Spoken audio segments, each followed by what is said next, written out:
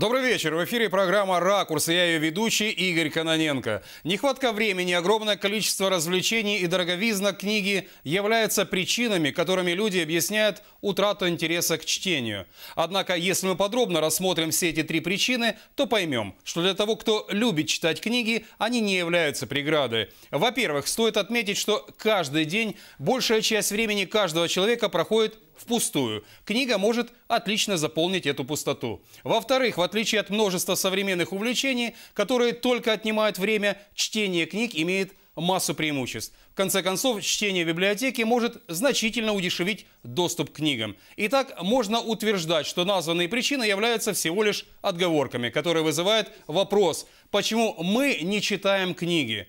Сегодня мы попробуем вступить в неравный бой с компьютерными технологиями, которые заполонили большую часть времени не только взрослых, а детей и подростков. А в помощь я взял тех людей, которые не только любят книгу, а каждый день доказывают, что она бессмертна. Знакомьтесь, ректор Криворожского национального университета Николай Ступник, журналист-писатель Ольга Гончар и продавец-консультант одного из крупных криворожских книжных магазинов Анастасия Кулиш. Добрый вечер. Добрий Николай, вечір. наша нация перестала читать книги? Ні, я б так не сказав, але в той же час той фактор, що ви сказали, він дещо, дещо спрощує ситуацію. Це ознака часу. Ознака часу. Книга це повільно, е, електронна книга це швидко і зручно. Але, але за книгою все ж таки своя ніша є. По роду своей э, деятельности служебной вы общаетесь со своими студентами. Они читают книги или только они научную литературу читают, или ту литературу, которая нужна для экзаменов? Е, ви знаєте, от часу на спілкування щодо книг, відверто кажучи, не вистачає. Болонський процес наскільки звузив навчальний процес, що на це не вистачає. Знову ж таки, студенти, от е, їх з дитинства тягне до, до інтернету, до швидкого каналу отримання інформації, до такого своєрідного ченелізму. Але все ж таки ліпші з них, їх мало, ліпші з них все ж таки читають книги. Я, я знаю, що вони читають технічні книги, а значить, перша похідна, я впевнений, що вони читають і художні. Э, Николай, а вы сами художественную литературу читаете? Звичайно. Звичайно. Яку Читаю, перечитую. Ви знаєте, от е, останнім часом, це може данина віку, якось більше е, тяне перечитати класику. Я, е, ну, це, це, це, це, це, це дещо особливе, і це, і це двома словами не скажеш. Ну а вкусы, приоритеты поменялись? Вот, э, например, тот же Николай Ступник, который 20 лет назад и сейчас. Е, Звичайно, звичайно, вони змінились, вони змінились багато в чому. М, Час Ну, змінився. к любовным романам не перешли? Мабуть, ні. Мабуть, ні. То есть хорошая, добротная художественная литература. звичайно. Я знаю, что э, Ольга э, очень много делает в городе для того, чтобы э, охватить как много больше читающих и много э, молодых людей э, чтению книг. Вот, Оль, э, ты очень много привозишь в Кривой Рог э, знаменитых писателей украинских. Вот с какой целью, наверное, с той же, чтобы охватить больше читающую аудиторию. И не зря ты это все делаешь. Вот ты видишь по лицам, по горящим глазам людей и по тем, э, что эта армия поклонников э, читающих прибавляется все больше и больше. И, например, звонят тебе и просят, Оля, привези еще кого-нибудь интересненького. Ну, щоб дзвонили і просили, привези когось цікавішого. Ні, дзвонять і запитують, коли будуть руді тексти. Це часто буває. І досить часто телефонують із, наприклад, різних коледжів і запрошують на зустрічі зі студентами. Я часто це практикую. На жаль, останнім часом менше, тому що зайнятість величезна. Але мені дуже подобається спілкуватися зі школярами, особливо зі старшими школярами, і зі студентами ну, от коледжів. Це дуже благодатна аудиторія. Якщо ти піймаєш оцей нерв, вони слухають, вони розкриваються. У них просто от видно, е, діти сидять і у них розкриті серця. І буквально минулого тижня в мене була така зустріч в гірничому коледжі завдяки Олександру Ваєцькому, прекрасному поету. Е, Він запросив, зібралося близько 40 е, дітей Ну, Я їх називаю діти, тому що це 9-10 приблизно клас. І е, це от спілкування було надзвичайним. Після цього мені говорили якраз викладачі, що вони побачили, як діти змінилися. А по какому принципу ты э, вот, созваниваешься с писателями известными украинскими и приглашаешь их в Кривой Рог? И все ли с удовольствием соглашаются? Буває дуже по-різному, але е, одне поєднує всіх. Е, Українські письменники дуже відкриті. Вони охоче погоджуються на зустрічі. Вони самі пропонують зустрічі, так як це було, скажімо, з з Максом Кідруком, який минулого тижня приїздив до Кривого Рогу. Він поїхав в безпрецедентний тур всією Україною. 100 міст е, зі своєю книжкою Не озирайся і мовчи. Прекрасний роман. Рекомендую всім прочитати. Від е, найменших реклами, ну від найменших до найстарших людей всі побачать щось своє. От і буквально десь приблизно за тиждень до е, самої презентації зустрічі в Кривому Розі мені подзвонили, попросили допоможи щось організувати. І в принципі дуже легко ми це все організували. І люди прийшли, і люди з величезним інтересом слухали Макса. Э, Люди, понятно, ты сама лично, ты вдохновляешься от этих людей, сама садишься за стол, начинаешь писать. Ні, я е, таким, таким способом не надихаюся на вдохновляєш, власне да? писання, але мене дуже надихає, коли я бачу, як е, у людей щось всередині відбувається. Вони починають, можливо, не читати більше, можливо, не писати власні твори, але просто починають інакше дивитися на життя. Їм стає десь трішечки легше, попускаються якісь от ці внутрішні зажими. Тоді, звісно, це класно. Если из 30 студентов э, горного техникума хотя бы два заглянут, заглянут в библиотеку, правильно, то уже дело доброе сделано, правильно? Е, Я роблю такі е, легкі маніпуляції, фішечки такі. Е, Я е, спочатку розповідаю про певний перелік письменників, я їм показую книжки, зачитую цитати. Після цього е, в- Наприкінці уже свого виступу я запитую, які імена ви запам'ятали.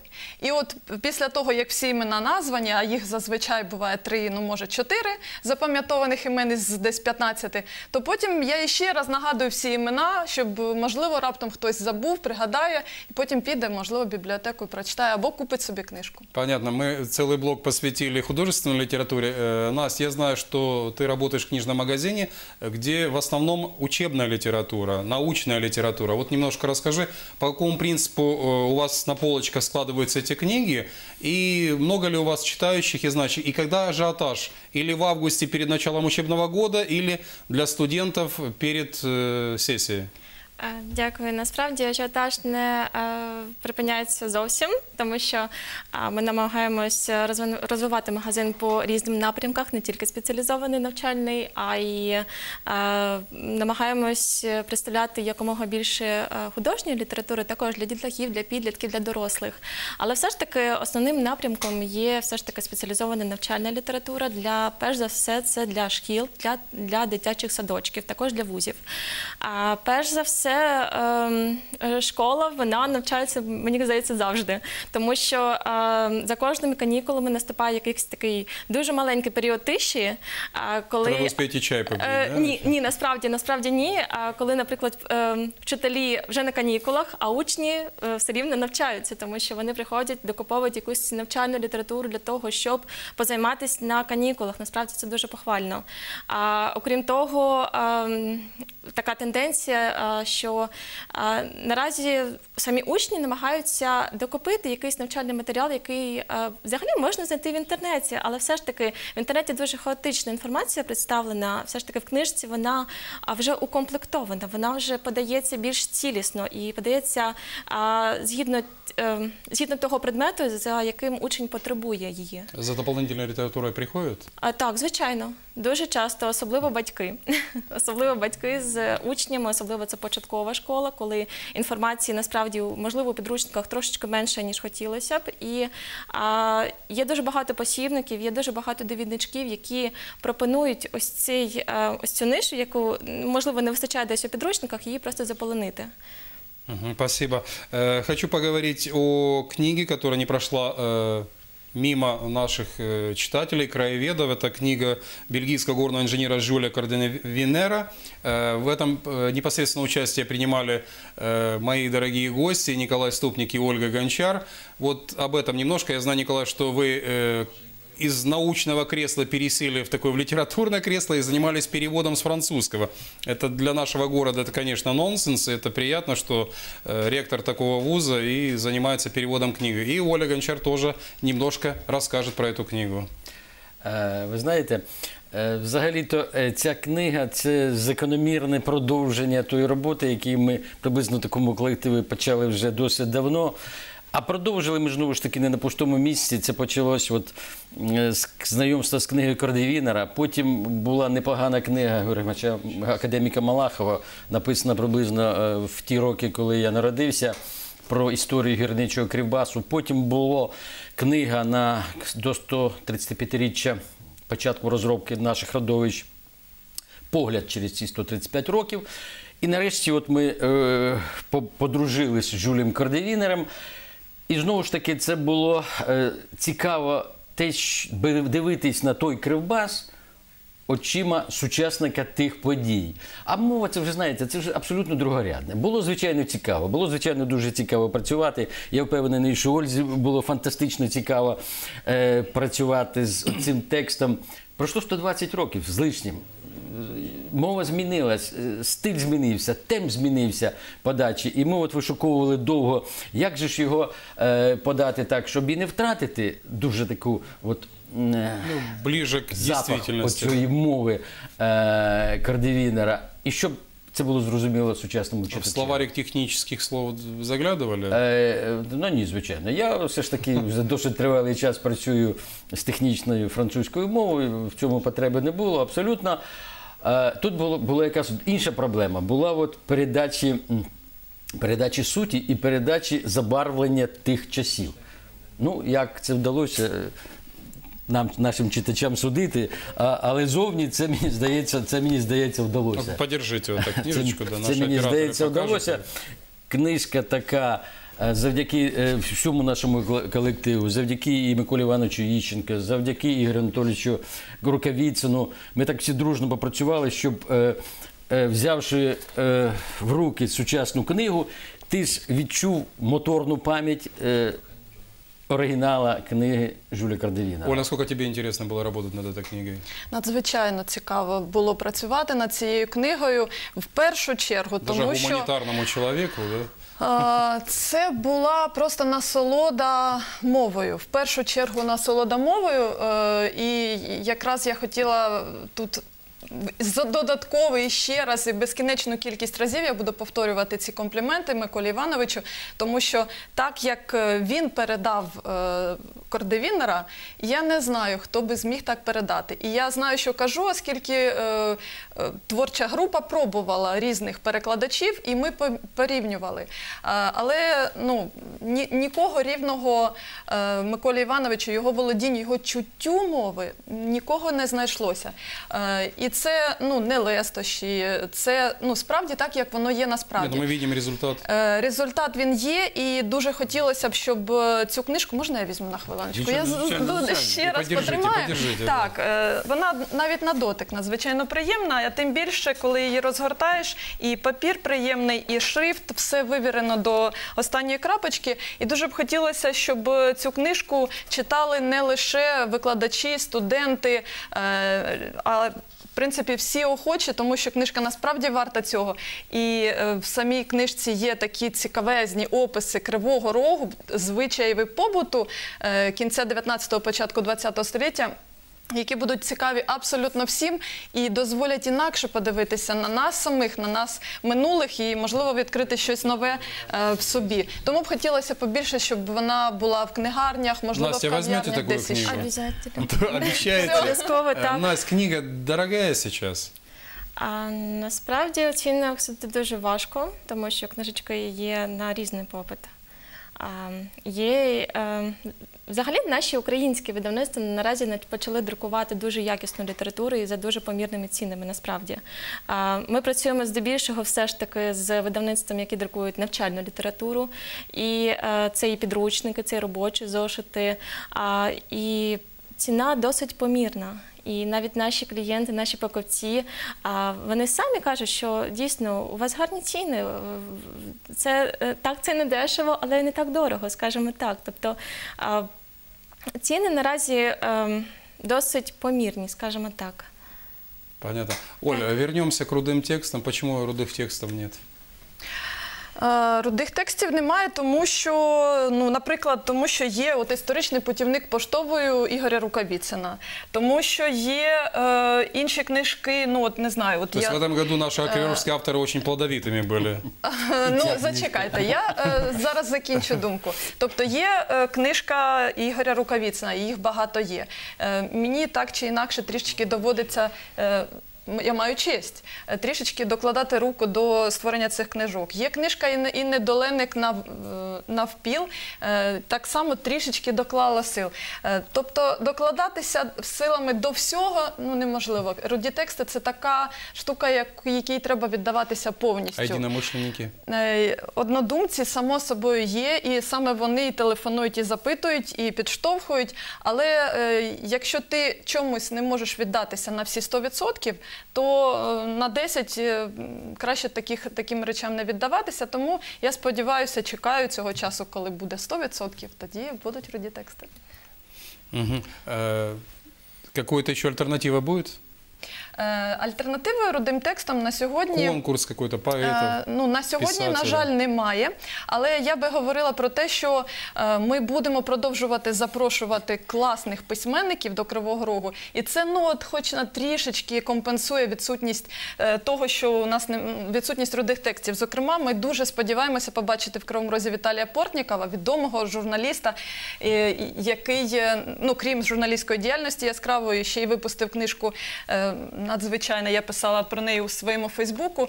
Е, Так само журналістською діяльністю своєю е, не обмежується Олег Пономарьов, який теж випустив книжку. От, на жаль, вона не помістилася на, на, на цей стендик. А, Але це ті е, люди, це ті е, явища, про які треба говорити, з якими е, треба йти до людей, і які, я сподіваюся, будуть запалювати в тому числі. Николай, если э, я знаю, что эта книга была вторая книга из серии «История горного дела» Криворога, если будут еще просить поработать над подобной литературой, согласитесь? Э, Время будет на книгу? Ви знаєте, та час це така категорія, вона, вона, вона як гума, вона, вона дуже добре розтягується. Ви Знаєте, авторський колектив так е, в чорній, в чернеці обговорив варіанти, домовились ще. е, Обдумати їх і до кінця цього року зустрітися. Така да? робоча зустріч, щоб вже пунктирну траєкторію наступного проєкту Николай, Промалевать. удачи вам в совмещении научной и литературной деятельности- деятельности. Оля, продолжай радовать наших читателей и людей хорошей литературы, хорошими писателями.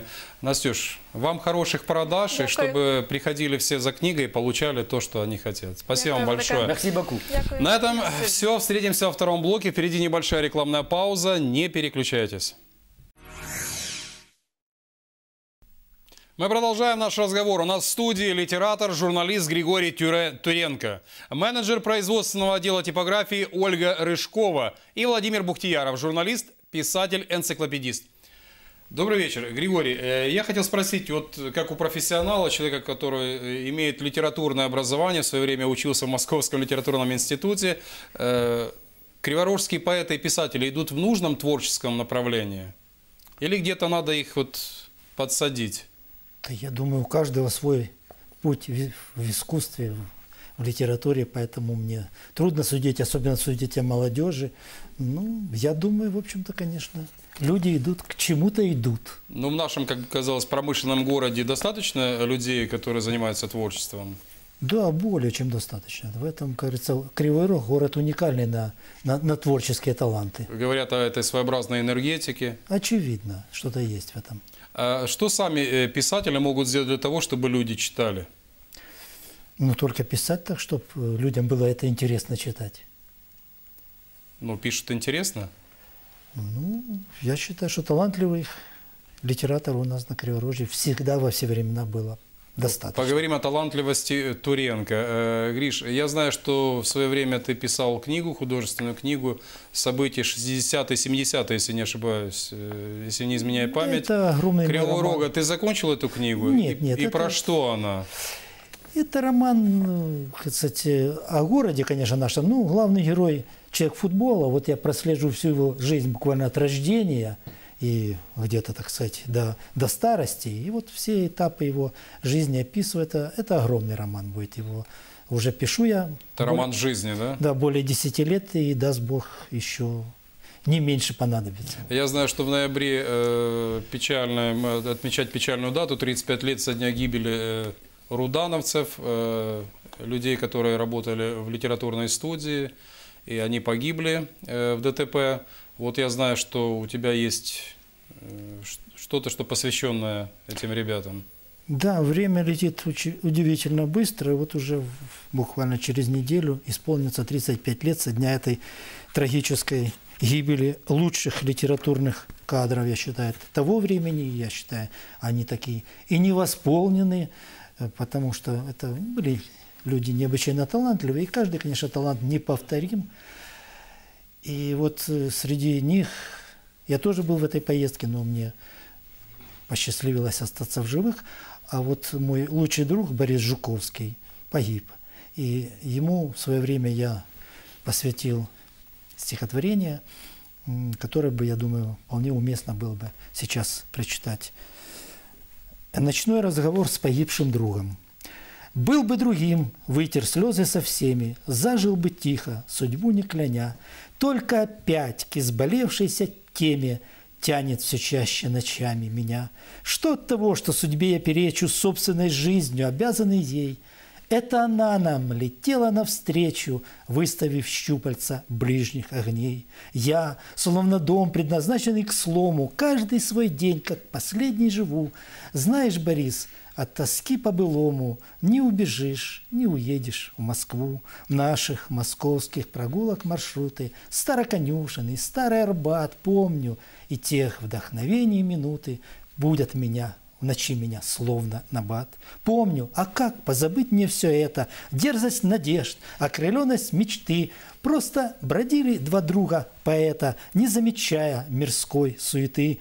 Были в столице мы пришлой басотой, верившей свято в признание час. Жили стихами, Кормились работой, женщин любили, и женщины нас. Нас не смущала ни радость, ни жалость, нам не мешала советская власть. Жизнь нам тогда бесконечной казалась, что в беспредельное счастье неслась. Часто теперь, став мудрее от горя, Я приношу на надгробие твое Ту твою первую книжечку, Боря. Как ты был счастлив, дождавшись ее, Только в Бермудах пропала из кадра Всех твоих будущих изданных книг. Не сохранилось хоть пол кинокадра, Где бы живым ты остался на миг. Поздно брониться с коварной судьбою, Бросивший раф наш и карусу в лоб. Я, дипломат, оседлав под собою, Сжался к тебе у двух женских особ. Помню еще, что шептал тебе в ухо что-то смешное. Так легче в пути. Было на трассе, по-зимнему сухо. Что нас могло на ходу занести? Пишут, валялась покрышка чужая. Так в милицейский внесли документ. Смерть в ней таилась, всем нам угрожая. Но разделила в последний момент – тот, кто один на земле остается, может и сам понапрасну живет. Кто-то до белой горячки допьется, кто-то в себя словно в омут уйдет. Что-то стихи не слагаются ныне, их не подменишь словесной игрой. Знаешь, Борис, от тоски и гордыни до смерти тошно бывает порой там, где мои обозначены сроки. Ты меня ждешь у суровой черты, если бы мне не писать эти строки – их за меня написать смог бы ты. Спасибо. Ольга, поговорим о типографии. Что собой представляет сейчас современная типография? А, Современная типография э, в Кривом Роге. Мы уже существуем более 10 лет. Э, у нас большие печатные станки, э, которые печатают газеты. Современная. Современные, конечно. К сожалению, импортного производства.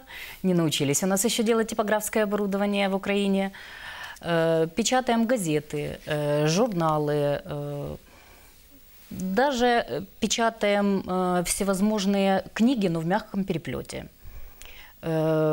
Почему в твердом не печатаете? Ну, пока еще не закупили оборудование для твердого переплета. А наши еще не научились делать. Наши еще не научились, да.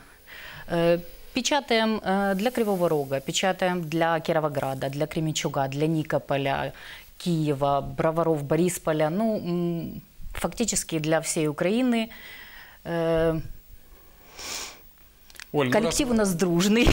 Оля, раз мы заговорили о книге, разговариваем о книге, вот э, начинающему писателю, который там достал денежки, вот он приходит к вам в типографию и хочет, чтобы вы сделали ему книгу. Вот в ценовой политике, как процесс, что это за процесс, э, какой период он занимает и что вы А, посоветуете? Смотрите, э, какой процесс.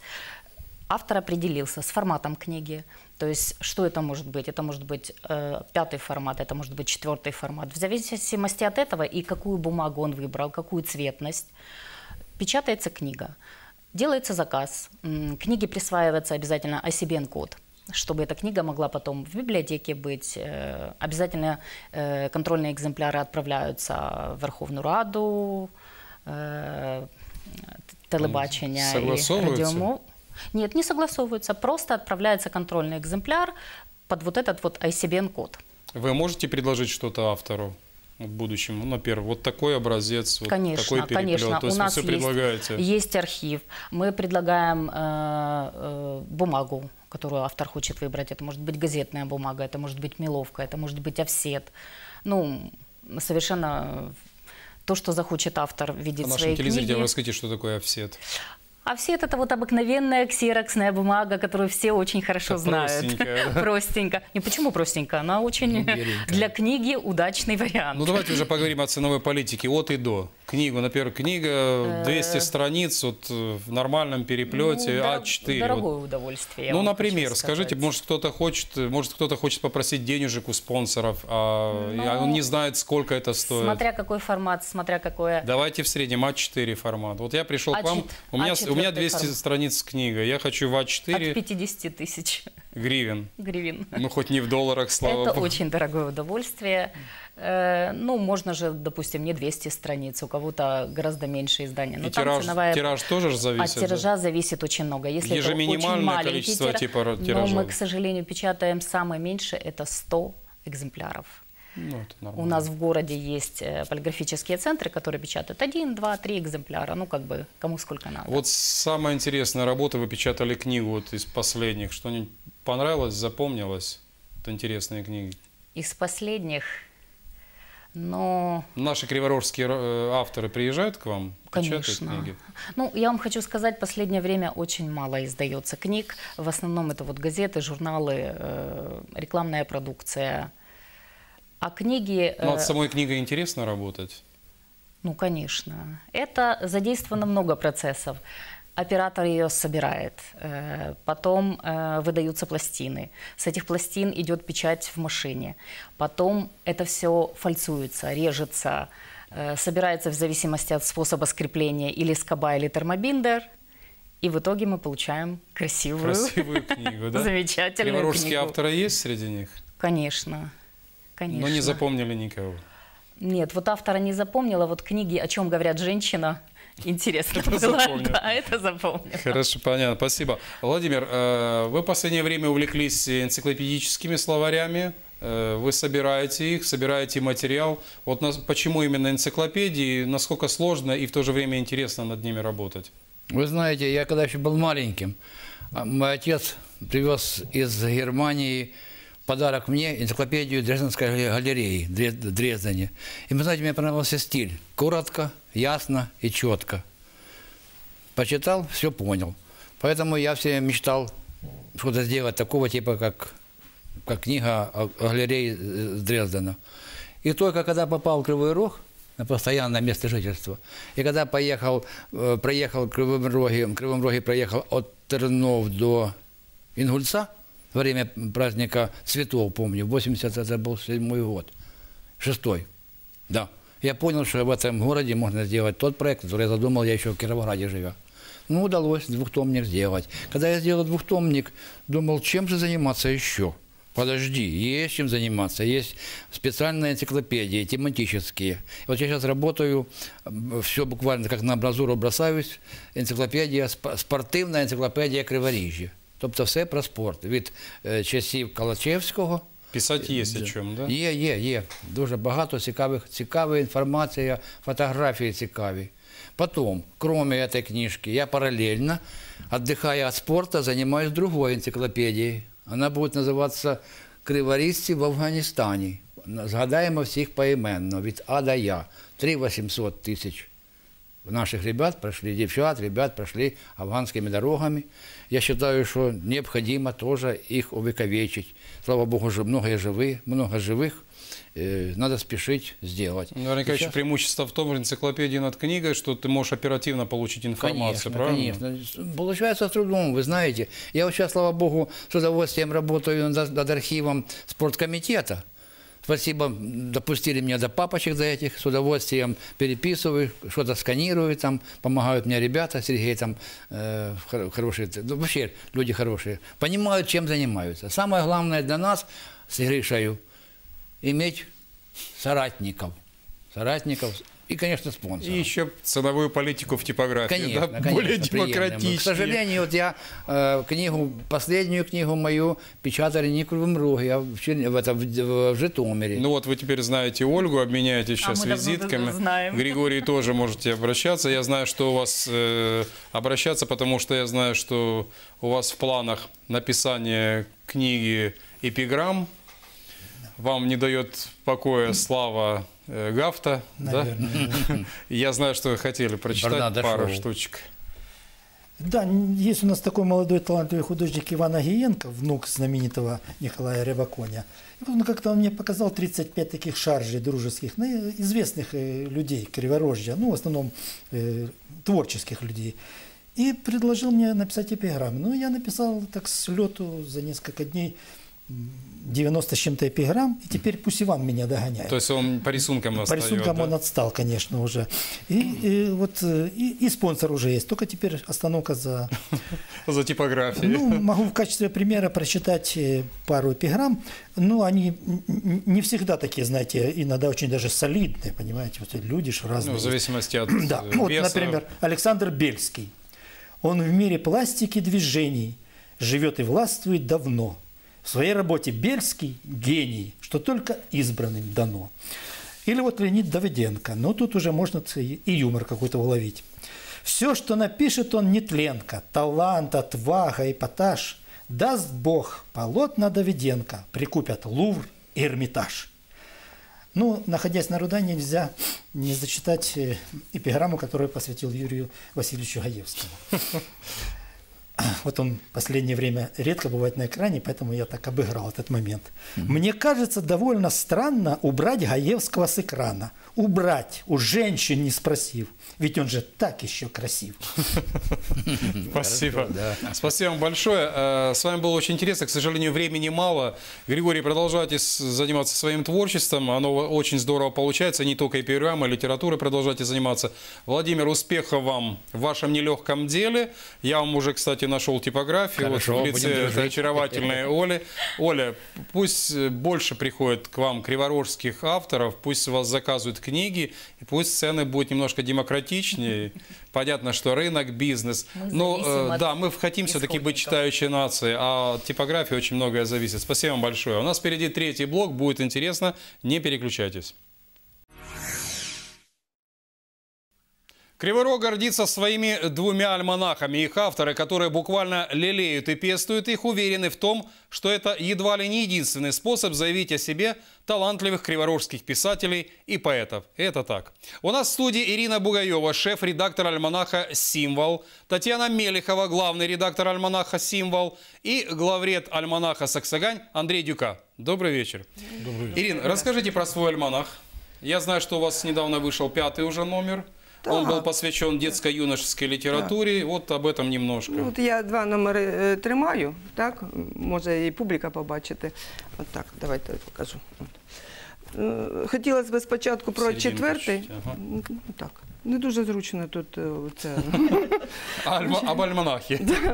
Так, не, бо він е, об'ємний, важкий і Ну, багато это ж чого. в хорошо, ньому. значит, Да, так. плодовитые авторы у нас. Значить, хочу сказати про те, що у нас е, в нашому місті ви, ви говорили е, про е, Саксагані, про е, альманах символ, але у нас і є і ще кур'єр Кривбасу, і е, була і Лід Зепелін, такий журнал, це молодіжний наш, е, наші студенти його е, здійснювали, але це було інтернет-видання.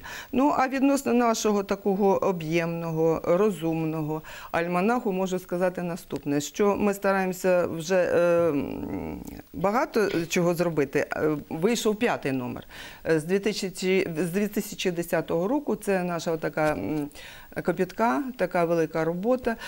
Показати наших Можете уже. Давайте я вже покладу да. наших ем, е, митців. Тому що тут говорить- говориться не тільки про літературу, а і про культуру нашого міста. Ем, І ось такі нюанси, які ми тут висвітлюємо, вони ем, знаходять і свого читача, і знаходять е, попит. У нас в, в Кривому Розі. І, Тут же і не лише. публіцистика є, да? Да, є і публіцистика, є і краєзнавчі такі е, розвідки, є історичні розвідки. Ну, багато чого прийшлося е, вже висвітлити в наш. Чому п'ятий номер вирішили посвятити дитячо юношеській літературі? Та він давно вже визрівав у нас. Практично е, ми, коли готували другий номер, е, який присвячений був е, такому явищу на Криворіжжі, як сплав. Це творча така літературна організація була. І ось на той час ми вже були і юнацький, юнацько-дитячий номер ми практично підготували, але це було занадто багато зроблено. І тільки пройшов е, на той час е, актуальний сплавівський номер, е, в якому ми висвітлювали діяльність молоді. Тодішнього 25-річної давності, і що ці люди зробили для Криворіжжя, для України, і е, всесвітньому плані е, своєму свої, своєю творчістю. Ну і так е, поступово, поступово ми таки дійшли до е, цього п'ятого випуску, який присвячений не тільки дітям, а і нашій юні. От і роботам наших митців, е, що цією темою заколпотані, і більше того, е, є і юнацькі там роботи. Е, Ну, що ще ми хотіли? Так, ми висвітлили третій випуск наш, там було присвячено те, що роблять митці, е, щоб е, ось ця ситуація в нашій країні була подалі від е, цього часу. Вы говорили про работы юношеские, талантливые детки у нас. Ну, звісно, звісно. То есть заменят они опытную гвардию, не говорю старую, а опытную гвардию. Так. Заменят. Чому? Тому що е, наша молодь тут якраз є е, така рубрика, що Я наша думаю, что молодь если они робить. пишут сами, они и читают книги, то о чем мы сегодня и пытались Е, да, говорить и да, донести. і читають, і багато читають. І е, я ж е, ще вик- не викладаю, працюю в е, педуніверситеті, то є е, така когорта дітей, які е, нас знайомлять з з сучасним. Вони знайомлять, да? Да, на- і нас, і Тань, ми. я смотрю, у вас есть кубок симпатичный. Вы приехали из Днепра. Вот э, за что этот кубок и за что вы его получили? От якраз А, показати. Именно вот в эти выходные, 18-19 ноября, э, в Днепре проходил международный фестиваль литературных изданий. Обычно в последнее время фестивали это чисто такие творческие, поэтические, и там присутствуют авторы. А э, фестиваль называется «Редкая птица», проходит уже третий раз, но он проходит раз в два года. И в 2015 году на втором фестивале мы представляли альманах «Символ» третий выпуск, и тогда получили приз зрительских симпатий. А в этом году мы представляли четвертый, выпуск, четвертый. номер и, конечно, показали пятый, потому что пока шел э, заочный тур, вот, мы э, не сидели сложа руки вот, и сделали пятый выпуск. Э, на этом фестивале Э, представлены альманахи э, не только с Украины. Там э, были э, альма- э, альманахи из Израиля и российско-германские, скажем так, то есть изданные в Германии. Э, Девять альманахов, и, конечно... Приятно борь- было среди них и, получить. и- и среди них, в общем, мы получили, ну, был проведен конкурс э, именно в рамках фестиваля, не заочный, а прямо здесь, э, во время фестиваля. И символ опять получил приз зрительских симпатий. Вот мы получили такую медаль. на которой написано... Хорошие впечатления, да? Вот, отличные впечатления и отличное знакомство. Я еще хочу сказать, что было очень солидное жюри. Э, Председателем жюри был Стус Дмитрий Васильевич, вот, который уже знает символ с несколько номеров, потому что он уже третий год возглавляет это жюри. Э, И много э, тоже известных писателей. Вот. Э, Ну и То есть вы общались был- одновременно, правильно? Конечно, Менялись конечно. опытом, менялись мнениями. Конечно, э, и обмениваясь адресами, э, на Фейсбуке дружим. Таня, вот, Вот. э, вы у нас в студии, не могу не отказать себе в удовольствии попросить, чтобы вы прочитали что-нибудь свое. Вы знаете, я да, на фестивале я читала такие более оптимистичные и... Ну, у нас э, студия прекрасная, да. ведущий хороший. Давайте что-нибудь оптимистическое. Но вы знаете, я хочу сказать, что ноябрь месяц для нас, он и э, очень оптимистичный, потому что фестиваль, вот. И я хочу вспомнить и две другие даты. Это уже Григорий Григорьевич говорил о 29 ноября. Вот. И 30 ноября был бы день рождения Юрия Каминского. И вот э, шестой выпуск мы задумали, посвященный искусству перевода и параллельно издать книгу, избранная Юрия Каминского. Но если говорить о стихотворении, то, пожалуй, такое, которое посвящено друзьям-поэтам. И грустно, и нежно, но чуткие пальцы не имеют от долгого рукопожатия. На улицах разных, то в зной, то заснеженных, живем вдалеке мы, вселенские братья. Мы братья по духу, по высшему чувству, а возраст и пол не имеют значения. Мы преданы страстно святому искусству с названием глупым «Стиха сложение», а, впрочем, по сути, стиха служение. Легко ли, мой друг, выворачивать душу? Слова бередят незажившие раны. Как важно всегда нам в себе не нарушить ту святость души, что не терпит обмана. Вселенная, ты не считаешь мгновений. Мы вправе создать и разрушить границы. От жизни простой подниматься до гениев, покуда у нас вдохновенные лица. Спасибо большое. Андрей, говоря об альманахе э, Саксаган, не могу не вспомнить э, о твоем отце, Анатолии Лепицком. Э, Что для него был эт- этот альманах? И чему он тебя научил? И что ты от него, вот, что он тебе передал и что ты впитал от него? Ну, говоря об отце, ведь, в принципе, мы начинали вместе. Мы когда приехали с севера, это была идея отца вообще о создании журнала. Потому что тогда на севере выходил журнал на севере Дальнем.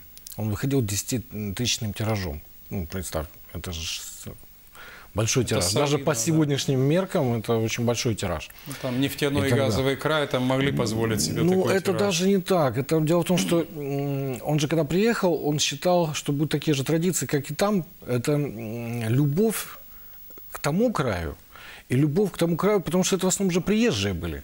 Весь север это приезжие, и очень много с Украины. И когда люди ехали сюда, они привозили с собой это издание, как вроде показать, вот мы, северяне, приехали Почему сюда на родину. Да. не сделать, да? И то же самое папа, он хотел, Анатолий Григорьевич Лепицкий, сделать такое же издание здесь, местным автором, как вроде бы, ну, любой пишущий вообще, у него идея всегда напечататься. Ну, это когда говорят, что я пишу в стол, и я получаю этого удовольствие, я никогда не верю. Это обычно люди с обидой говорят, потому что их не печатают, не хотят, не признают. И они считают, что они гении, их все равно не признают, потому что у нас все гении, Это те, кто графоманство называется. Нет, нет, не всегда, потому что, ну, вообще человек творческий, он очень, э, это настолько индивидуально. Его, правда, могут, могут, могут не понимать. Ну, это нормально, потому что у меня за вот работу э, вот уже по 27 год у нас альманаху, потому что недавно мы 25-летие отмечали, а вот сейчас вот уже вышел сотый номер альманаха. Э, То есть, ну, это все-таки охвачено очень много авторов. Тут более двух с половиной тысяч авторов. Многих, конечно, нет. И вот обложка сотого номера, она состоит из фотографий тех ушедших, и не все сюда вошли. Тех, кого уже нету в живых. И они составляли в свое время костяк наших авторов, самых сильных. То есть в перспективе, может, еще, чтобы дополнить этот журнал, потому что не все попали, Так, да? Можно так и- еще сделать. так и получилось, потому что я в конце вот даю маленькую статью, такую, что мы планировали более его сделать обшир, более объемным, хотя и сделали его 136 страниц, но не влезли, не вошли сюда все материалы. И у нас третий, четвертый, следующий вот спаренный выходит, он тоже посвящен, опять-таки, продолжению, он является как продолжение номера. Э, Кстати, Андрей, к вопросу об объемности. Мне всегда было жалко Дюку, потому что у него журнал по сравнению с вашим символом очень худенький. Почему так происходит? Это не потому, что у вас меньше авторов, правильно? Ну, во-первых, мы выходим четыре раза в год. И- Ну вот я хотел об этом узнать. и Ну мне жалко всегда. Во-первых, 68 страниц это не такой худенький. За 4 раза в год это уже два, По сравнению с символом, я два, имею в виду два вот таких вот Какой это 136. такий? Що Это, такий? это больше даже будет. Андрей, колонка редактора – это дань моде или ты хочешь достучаться до читателя? Ну, наверное, это две вещи. Это и традиции, раз. И, во-вторых, это все-таки достучаться до читателей тоже. Потому что э, я обычно пишу колонку, уже исходя из материала, который есть... Ведь у нас портфель есть уже давно. Э, ну, Издание давно уже существует. Тут Таня показывала кубки. Я не принес грамоты, которые у нас международные грамоты. И мы получили давно уже. И вот э, журнал «Интеллигент», э, который объединяет более 15 стран мира. Нам пришло герой нашего времени. Мы грамоты, мы грамотой были награждены. Вот, но это, наверное, нормально, потому что работая уже с авторами, очень многие уехали. Тех, кого уже нет, понятно, мы о них помним. Но очень многие уехали за рубеж, сейчас работают за рубежом. И благодаря вот Червоному мирнику, где мы выставляем, э, там наш есть такой подблок э, в электронном виде, альманах там тоже можно прочитать. Люди читают за рубежом. Тоже присылают нашим, а даже оттуда нам присылают материалы. Мы стараемся все равно печатать больше местных, но наших мы не, тоже не забываем. Ирин, кто вам помогает в печатании журнала? Над созданием его У кто нас, работает? е, Два є видавця, це Муратов допомагав і Чернявський Сан Саныч. Це перше. Друге, е, відносно е, роботи верстальної, то ми це с- самі все робимо. Це Андрей, Тетяна кто вам Євгенівна. помогает? Ну, у нас э, три с половиной человека штата. У них штат є. у нас Штат, немає. которым я как главный редактор являюсь я верстальщиком, я дизайнером. Есть бухгалтер еще, секретарь и лиц-сотрудник на полставки. Так что, ну, в основном по верстке, по дизайну, по фотографиям, по всем я делаю сам. То есть нет такого представления, что там целая команда работает большая? Э, Ну, я вам скажу, что раньше Это вы троем отбиваетесь от тех авторов, да. которых не понимают? да? Нет, ну, мы радуемся авторам многим.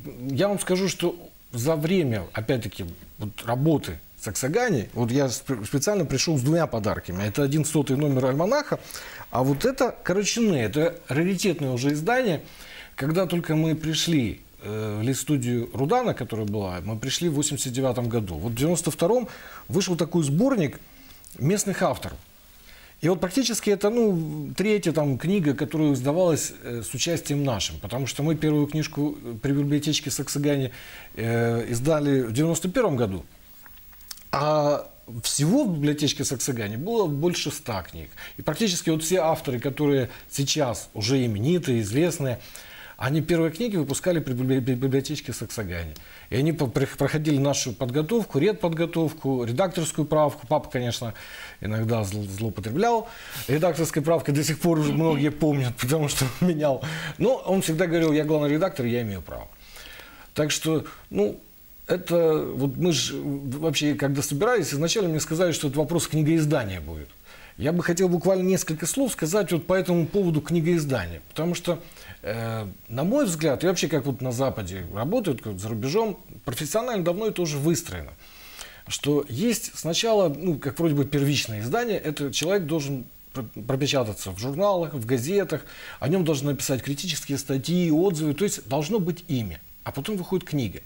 Обычно. Потому что книга, когда выходит, и чем больше тираж книги, тем больше уже человек известен.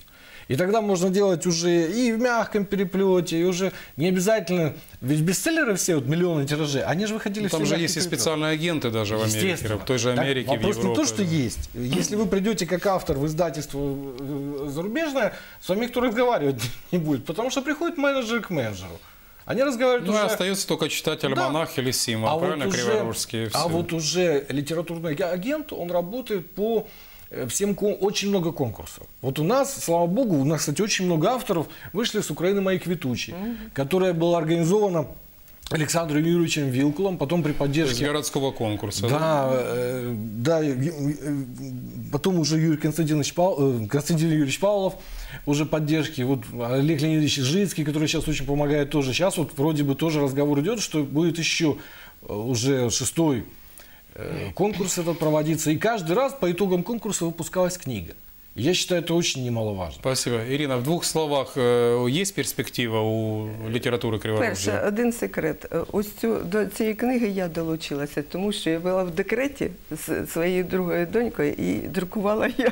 У нас есть, Набирала. Татьяна, как вы считаете, у нас Е, есть? Є перспективи, і е, тим більше, що е, в принципі м, е, задума є. А ми ще трішечки формат свій змінили на е, те, що у нас вже виходить різними мовами. Ми перекладаємо. Спасибо. Таня, что детям надо говорить родителям для того, чтобы они читали? В двух словах. Хороший вопрос. Вы знаете, мы презентацию пятого выпуска сделали в рамках фестиваля Приндекфест, первого в Кривом Роге фестиваля детской и юношеской книги. И там было много мастер-классов, много детей, и это как раз вот была очень хорошая Это такой маленький шажочек к тому, чтобы Да. действительно у нас нация все-таки называлась читающей. Спасибо вам большое. К сожалению, мало времени. С вами очень интересно было. Чтение книг дает возможность найти ответы на волнующие вас вопросы. Не нужно выдумывать велосипед. Все давным-давно известно. Миллионы людей прожили свои жизни и щедро поделились собственным опытом с человечеством. Решение различных проблем, будь то отсутствие денег или межличностные отношения, все это изложено в книгах. Глупо не воспользоваться этими знаниями. В наши дни многие не любят читать и более того даже умудряются гордиться этим.